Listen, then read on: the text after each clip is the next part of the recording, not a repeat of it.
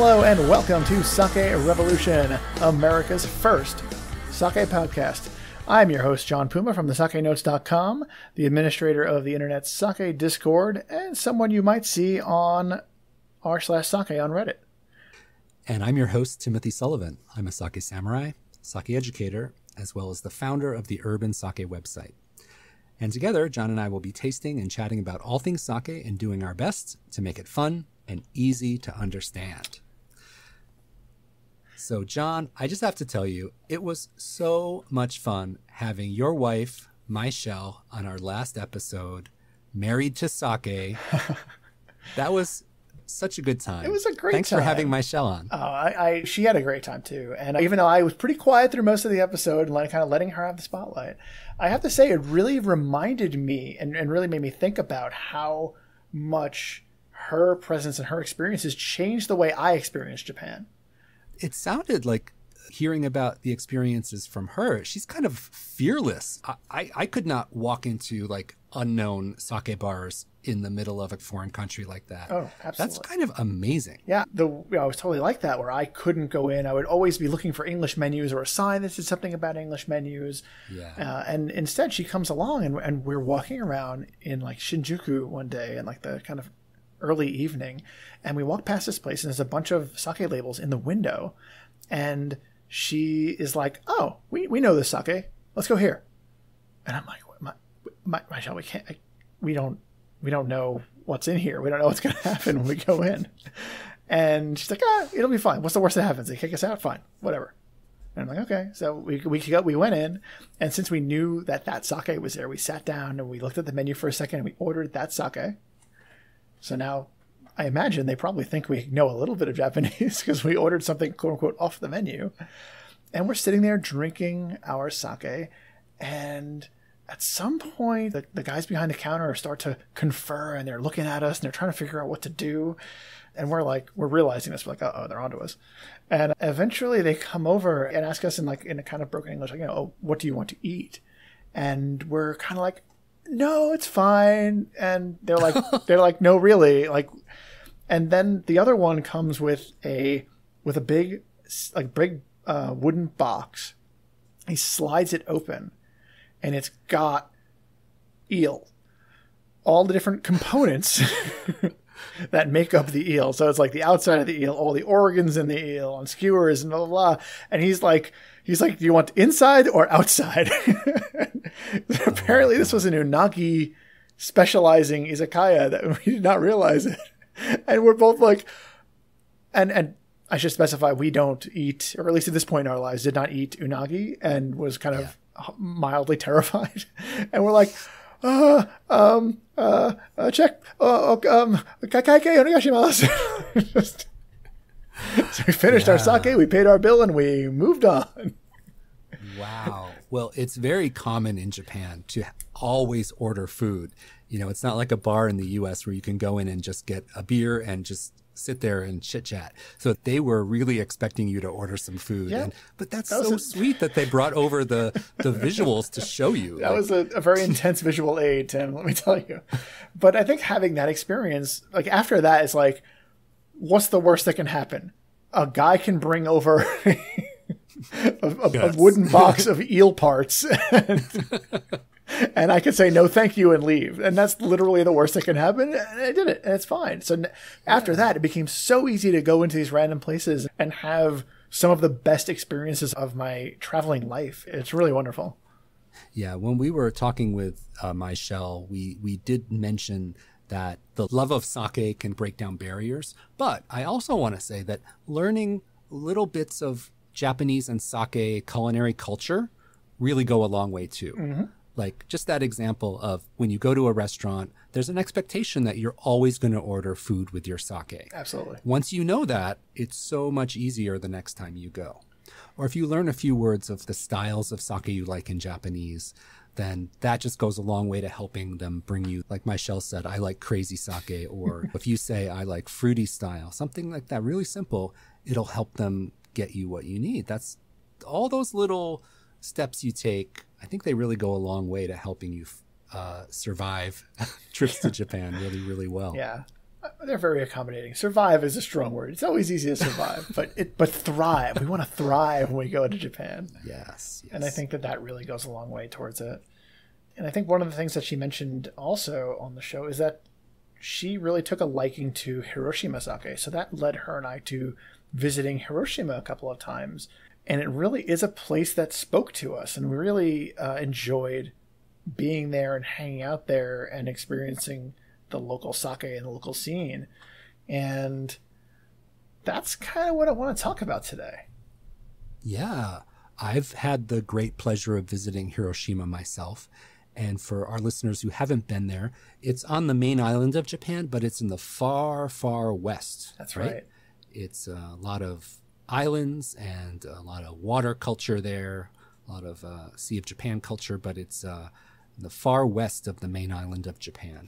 And as we mentioned with Michelle, you know, okonomiyaki is a big deal. it really is.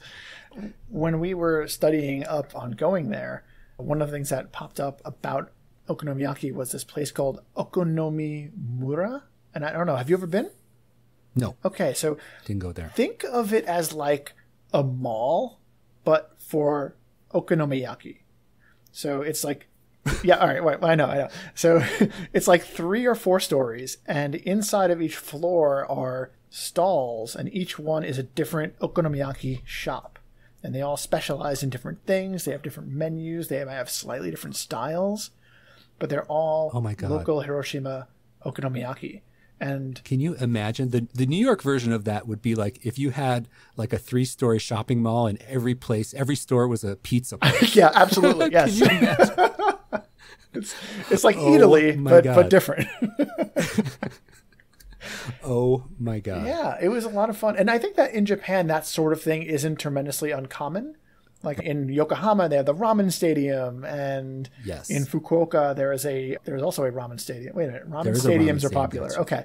Yes. Uh, Yeah, but I think that speaks to how popular okonomiyaki is in Hiroshima. Oh, it it's is. kind of like the regional food, uh, great pride. Yeah. And if you visit, I visited a sake brewer in that city and they took us to okonomiyaki as like to show us what the local cuisine was all yeah, about. Yeah, I think it's so a great it was, example of it. That's great. Um, yeah. May I ask what brewery did you visit? Kamoizumi. Oh, nice. I've never had yeah, the pleasure. So oh, it's it's wonderful, and it's in Saijo, which we've talked about on a previous episode, which is like the in Hiroshima City. That's like the sake neighborhood with a, a gaggle of sake breweries, all in this, all within walking distance. Yeah, quite a few, other. quite a few. That's that sounds like like a really good time. Now, when you were there, did you have any free time to yourself, or did you spend most of your time visiting Saijo? Uh, I had a couple days off where I could go and do some sightseeing in Hiroshima. Uh, we went to the the Peace Park, and uh, I remember riding on a streetcar too. That was really fun. Yeah. And it just left me with such you know warm feelings, and everyone there was so nice. And I really, I do remember this visiting Saijo, that sake neighborhood. All the breweries had a similar architecture, mm-hmm. and it was a very unified feeling neighborhood and there's a specific design style for all the sake breweries. They have this crosshatch marking on the bottom half of the buildings and then certain tiles on the roofs, and they were all similar in style. A lot of them had these brick smokestacks as well. Mm-hmm. So you could look around and see the smokestacks could tell you where all the, the breweries were located. And those are really for letting the steam out when they do the rice steaming. The steam can go out the, the smokestack, and uh, they're not as functional nowadays, but in the past they were really needed and they often have the logo on them as well. So you can literally walk around and see, oh, there's this brand, there's that brand. And uh, it was, I, I, remember having just such a wonderful time walking around and take, just taking in the atmosphere was great. That's great. For me, the, the three pillars of Hiroshima are like sake, okonomiyaki, and the carp which are their local baseball team, and they are everywhere. You cannot walk down the street without seeing some sort of Hiroshima carp paraphernalia. It's I, I I have never been to Chicago, but I imagine that around like Wrigley Field has probably got a similar feeling where everybody just loves the Cubs so much. it's like that kind of enthusiasm. It's very refreshing, actually. Being a New Yorker, where we're very cynical about our baseball teams. yeah, that, but the the the carp baseball team in Hiroshima is like they have food items and ramen and beer and all kinds of things that are carp branded. Sake. Don't they? Oh, sake yeah, too. Yeah. Got to try that. Yeah. We, we got a little Hiroshima carp one cup. Oh, cool. Yeah. We're tying it all together. Typing Michelle and one cups and Hiroshima. Well, I was thinking about what sake to bring for today, Mm-hmm. And I have a sake that I've actually never tried before. really? This is oh, yeah. Oh, that's- this is that's the- this is the best kind, Tim. me. Yeah, so we're gonna get we're gonna get a real raw reaction from. Oh, me. this is going to be good. This is nice. I'm glad you were able to get something from Hiroshima. It would have been really embarrassing if we did all this and then you were like, oh, and my sake is from Yamagata. Haha. Well, let me tell you what I brought, and then you can let me know what you have over there. sure. So I have a sake from Fujii Sake Brewery, Mm-hmm. and it is called Ryusei Nogomi no Karakuchi. Karakuchi, Katakuchi. So this is a dry one. Karakuchi. So this is a dry sake. Okay. It's milled to 65%. The rice is Hattan Nishiki. And the sake meter value, that measurement of sweet or dry, is a plus eight on the scale. Ooh. So it does seem like it might be on the dry side for sure. Yeah, I believe that's similar to a one cup you had a few episodes back, too. Yes, that's right. Yeah, You're You're on a dry kick right now, Tim. Yeah, and the acidity is 2.0, which is a little bit on the high side. So I'm excited to try this and see where we shake out. So why don't you let me know what you have, John? So I have Joto Daiginjo, quote, the one with the clocks, unquote. Now, this is a little bit of a unique situation. Uh, so in in the United States, the importer Joto relabels this sake, but they're very open about where it is actually from. In this case, it is in Japan. This one is labeled as Maboroshi White Box Daiginjo, and Maboroshi is a very popular brand over in Hiroshima. And the name of the brewery is uh, Nakao Brewery, and they make quite a few really popular sakes, apart from the Maboroshi brand. And the reason that it's the one with the clocks is the label has a lot of has a lot of little clocks on it. I don't know exactly why, but that they do. They have a lot of clocks on it. So the one you brought is uh, Daiginjo? It is. I went uh, big today, Tim. This one, the mine- seimaibuai is 50%, but it also is using that Hattan Nishiki rice that you talked about. Yeah, so I think that's something that we can say is pretty indigenous to Hiroshima. So it's interesting that both of our sakes use that rice, even though they're probably going to taste really different. They're probably going to taste wildly mine, different. mine is a mine I didn't mention is a tokubetsu junmai or a special junmai, Mm-hmm. And you have a daiginjo. I do. And I'm sure mine will be delicious, but I'm a little bit jealous because I know your sake tastes really good. I, think what you mean to say is that the uh, is that mine is probably a little bit more in our wheelhouse, whereas yours is you're you're expanding your horizons. Well, I am ready and willing to drink anything for education. There we go. Now go ahead and open that up and let's Yeah, let's see what we have. Open this up. We have a little paper. So Tim's sake has a nice little uh, ribbon that goes across the top, kind of a symbolically keeping it closed. I think that's interesting. and a little plastic cork, and then I'm going to pour. Here we go. All right. Ooh. So I see a little bit of, I don't know if you can see this, John, but there's a little bit of color there. That looks very amber uh, from my perspective. yeah, it's it's a straw color, Yeah. um, so not crystal clear. Ooh. What are you smelling? So the aroma has just a hint of earthiness to it, some rice, a little bit of grain on the aroma, and it almost smells a little bit chocolatey. Really? Chocolatey. Yeah.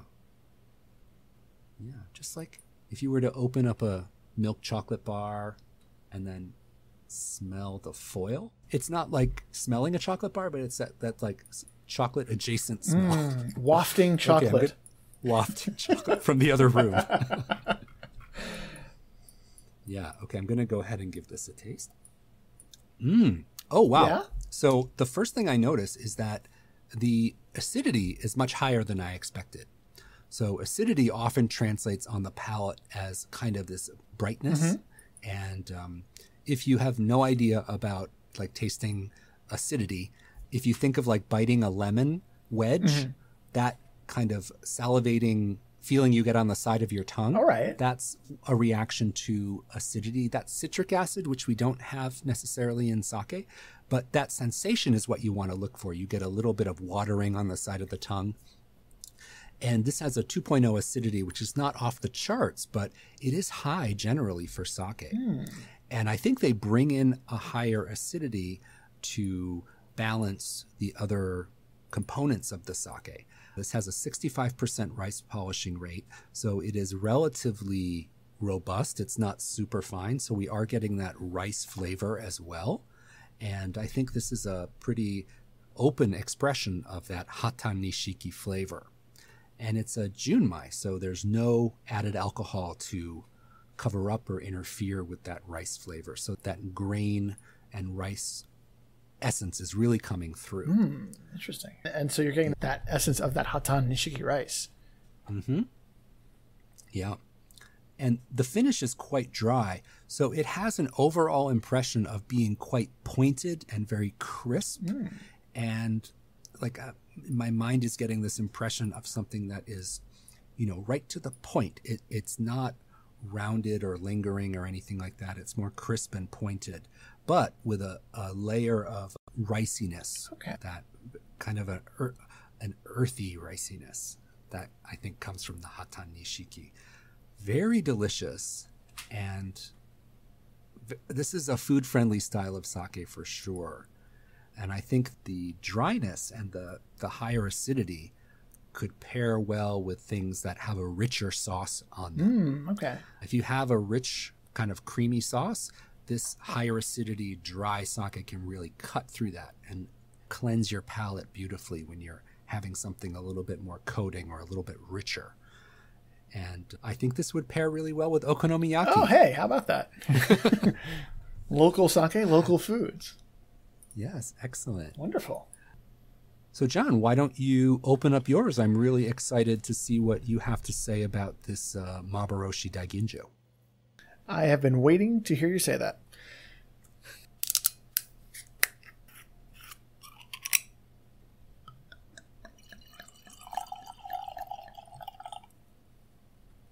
The nose is so interesting on this. It is a little bit fruity, but also something else, something like like a almost like a like an herb of some sort. It's very interesting though, very unique. A little hint of an apple too. Oh boy. Okay. So the mouthfeel on this is luxurious. It is lush. This is a Daiginjo style, so there is alcohol added.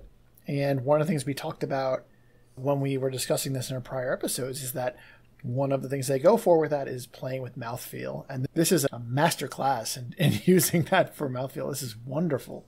It coats the palate so perfectly. Yeah, daiginjos can often be very silky and like extra smooth, be like surprisingly smooth. very smooth. It's coating the palate, but it's also deceptively uh, light flavored. Also, it's very pleasant. Apparently, they're using an apple yeast to make this sake, also, which may explain that little hint of apple in the beginning there. Yeah, definitely nice, like a little bit of spice, a little bit of apple. Very, very, very satiny texture, like very luxurious. This is an extremely sippable sake. Right up your alley. right? Yeah, this is very much the John Puma sits on the couch with a glass, and um, this is I would not have this with okonomiyaki. Uh, I think that two would very much get in the way of one another, and yeah, this is very very lovely, and I think this is atypical for what the for the style of sake that Hiroshima is known for. I want to say. If you think that Hiroshima is known for Saijo, then this is very much outside of that style. Now, Saijo, much more known for being, would you say, like rice forward, uh, a little more like a little more of that that caramely style to it. Whereas this is very lush, very dare I say, sexy tasting. Um, and it's really nice. You dare. I you dare, I did, I did. Well, the the interesting thing that connects both of our sakes is that hattan nishiki, that local indigenous sake rice from Hiroshima, Hattan Nishiki. And the interesting thing for me is that my sake is like an overt expression of that, and yours uses the same rice, but you. It's completely subverted by, perhaps by the yeast, but definitely by that texture and the and the apple taste. Oh, this is so good. well, the the rice milling I think plays a big role as well. Yeah. My rice grains were milled to 65% remaining, and yours go all the way down to 50% Right. remaining. So that it you could say, oh, it's only 15%, but I think with sake rice, it makes a big difference. Mm-hmm. And you can really taste that. The outer layers of the rice grain contain the fats and the proteins, and as those get more and more polished away, you get more pure starch isolated, and then you can bring out other flavors using the yeast. You can bring out apple or, you know, different expressions of the sake. And as you mentioned earlier, the fact that yours is a Junmai really lets that rice express itself more, whereas mine is, I guess, further subverted by the fact that it's a Daiginjo and it's not a pure rice style. And they're just making a Yeah. really interesting sake out of it. Yeah, I couldn't agree more. The other thing I noticed is that I mentioned when I was tasting mine the acidity as well. Uh, mine has a 2.0 acidity and yours has a 1.3 acidity. Yeah. So much, much lower acidity. And generally, I often describe acidity as being between 1.0 and 2.0. So 2.0 or above is considered really higher acidity, and 1.5 or below is a lower, more gentle acidity and acidity often reads as dryness on the palate. Uh, so you can underscore a sense of dryness in a sake by boosting up, raising up the acidity a little bit. And lowering the acidity gives you that softer edge. And I think that's really what the brewers of your sake were going for. So, Tim, as we're sitting here uh, drinking sake from Hiroshima and we're talking about the city and, and our experiences, one of the things that really sticks out to me about Hiroshima is the local bar scene. A lot of the places there are really interesting and unique, and they have been some of my favorite Japanese sake bars in all of Japan, really. They're a little bit more lax about the food, which maybe may, may have something to do with it.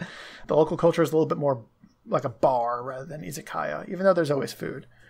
They're just really, really friendly and very accommodating. And the local places don't always. The local taste of the manager may not be, oh, rah rah Hiroshima all the time. It might just be this guy really likes a particular style of sake and he has that. Uh, there's one place I love to go to called Flat, where the bar manager's favorite brand is Takachiyo from Niigata. So he gets every single limited edition Takachiyo, and if you're into their sake, it's a great place to visit. And he's enthusiastic. He'll talk about it to, at at length. There's another place called uh, Katoya, and then the owner there, Kato-san, his thing that he loves to do is to get sake that no one's ever seen before. Hmm. He wants to get rare sakes and from brands that aren't anywhere else. And so you go there and you have a unique experience and try things that you've never heard of. It's a really wonderful and unique town from a sake lover standpoint.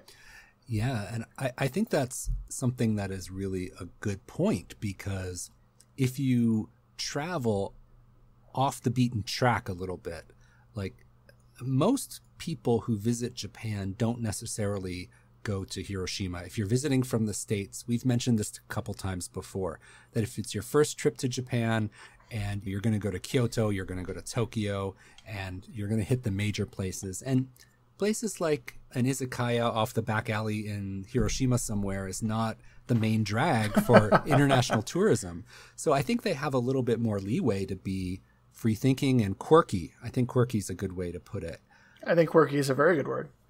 Yeah. And when a non Japanese person walks in and says, I love quirky sake, they're like, they're in hog heaven too, because they want that kind of customer who's going to be open and go there with them and be curious about what, what they're there to teach you and show you.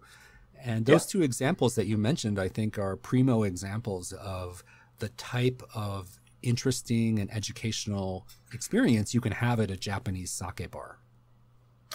Ah, to make me wistful to go back to Hiroshima. really good town. I think it's uh, underrated. It should be on more people's radar, and not just to go for historical reasons. I don't think that.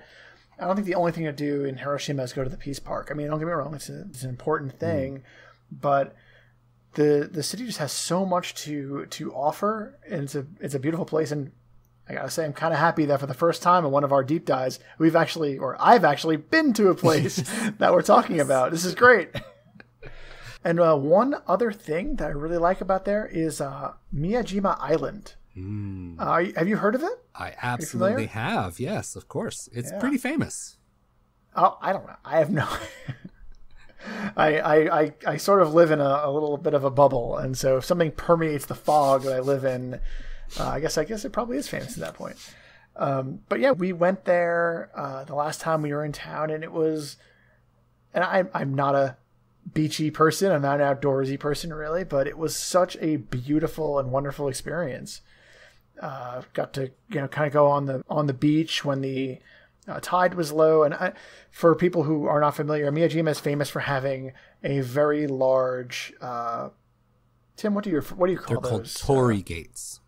Thank you very much. I, it completely slipped yeah. my mind. I'm like I know what this word is, but it's not coming out.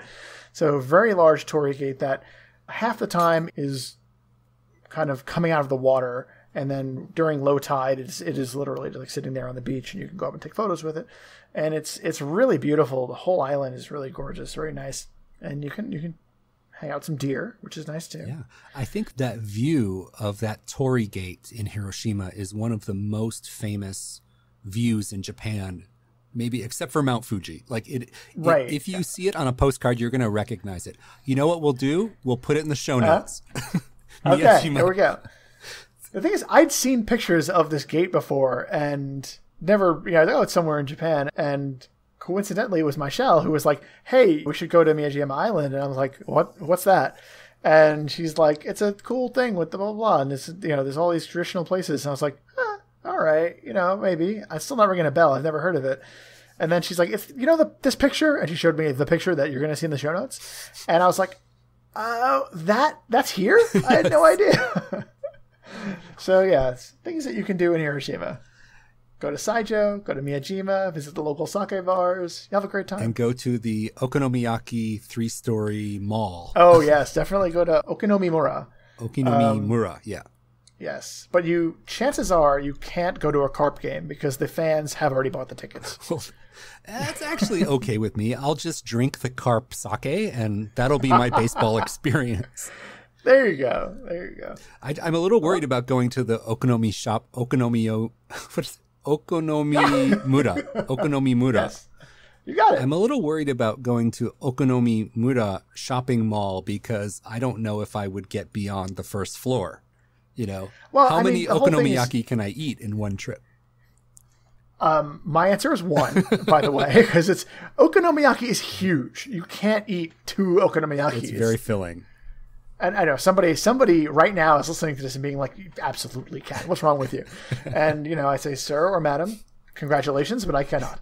In this case, though, uh, what I usually do when I go there is I look at the different menus, the different places. I I look at the different store, different floors, uh, and then and then I'll okay, this is what I'm going to have today. This is what I'm going to try today.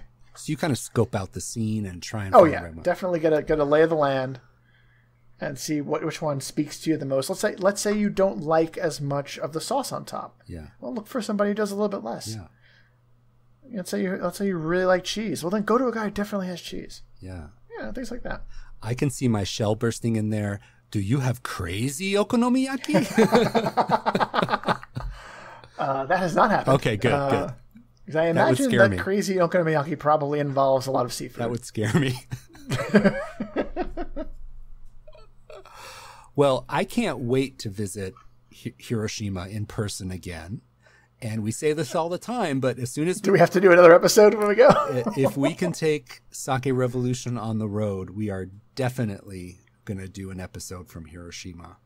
And I'd love to walk around Saijo and take it all in again. I think one yeah. one uh, positive we can take out of this whole stupid, awful COVID situation is that it's going to give me a great appreciation for traveling to Japan again. That's for sure. Don't you agree? Absolutely. All right. mm-hmm. Well, I want to thank all of our listeners so much for tuning in. We really hope you're enjoying our show.